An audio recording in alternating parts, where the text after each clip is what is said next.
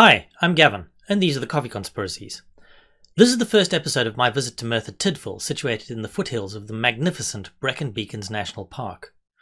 Wales was once the centre of the world's iron and steel industries, and Merthyr Tydfil its burning core. At its peak in the mid 19th century, Merthyr had the most productive ironworks in the world and was the most populous district in the country. With the end of the Second World War, the UK's industrial dominance faded, and Wales went into economic decline. In 1987, after 228 years of continuous production, the last iron foundry in Merthyr closed. I haven't researched this, and knowing the whys of historical economic decline is not the purpose of this series anyway, but many cities have navigated their way from post industrialization. There is not always a clear path. Mostly, though, it involves accepting what is and answering the question of what next. Turning inward and clinging onto the past is not a particularly useful response. Communities who look to the future have a better chance if they have something else to draw on when whatever generated that initial success loses its luster. Towns with a strong academic tradition and reputable universities can improve productivity and simply go up the value chain. Others can take advantage of their proximity to new markets or as an entrepot for immigrants, or as a tourism gateway. Merthyr Tydfil has suffered a great deal as it sought a way back to prosperity and opportunity, and I believe it is finding a new path. This is the overview for the Merthyr Tydfil local authority, and you can see that employment lags the national average by about 7%, and commercial vacancies are about 4% more than the national average. Salaries are lower than average, but business efficiency is a touch higher than average, with typical profit margins being astonishingly high. There's a specific reason for that, and it has something to do with the types of businesses being attracted to Merthyr. As with other towns suffering from economic difficulties, Merthyr has restructured its city centre, there's a shopping centre right at the railway station and another at the bus station. Others are scattered within walking distance along the spine of the town. And yet, this hasn't created the usual commercial desert one finds in other towns. Part of this is the luck of geography, and part of this is clever design. First, geography.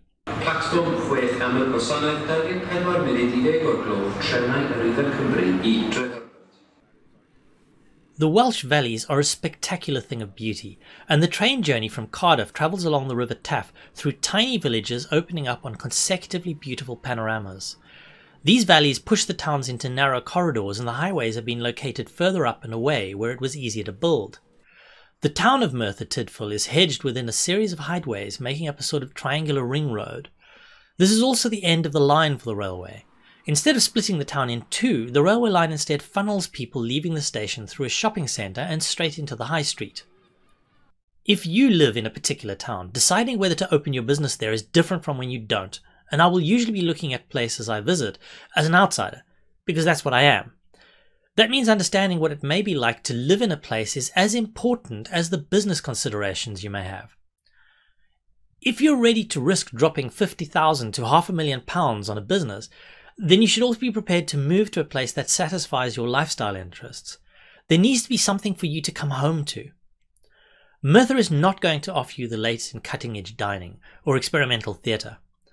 What it will offer you is some of the most approachable walking, cycling, climbing, and freshwater kayaking anywhere in the country, and all of this only an hour from Cardiff. You can rent a three bedroom home for £500 a month, and within a short stroll to your place of work. Now, on to the reason for this episode office space. Office based businesses make up about a quarter of the Merthyr economy, and there are very few vacancies. Partially this is because of how easy it is to convert empty offices into apartments, and partially it is because Merthyr was not historically where one opened an office.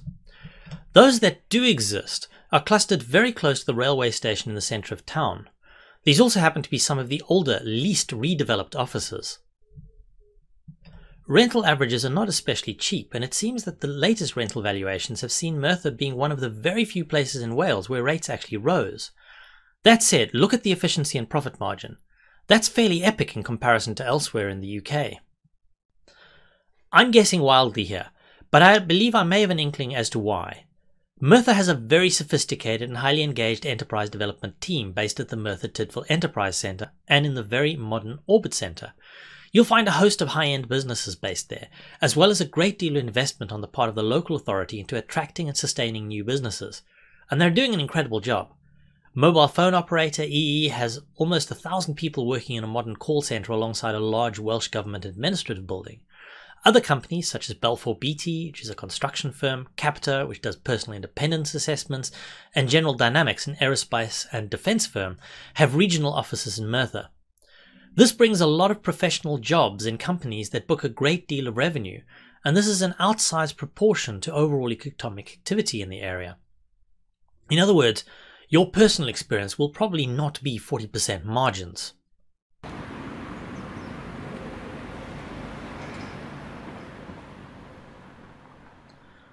I chose Oldway House in Castle Street, just off the High Street, with a range of offices available from 10 to 1,000 square meters. The building is not ultra modern, and you would need to discuss with the landlord the availability of broadband and any other services you may require. It's close to all the shops and restaurants of the city centre, and given the compactness of the town, also close to wherever you choose to live. For the office I selected, you'd be looking at about £1,186 per year for 20 square meters, which should be space for two people to launch your software development or IT firm.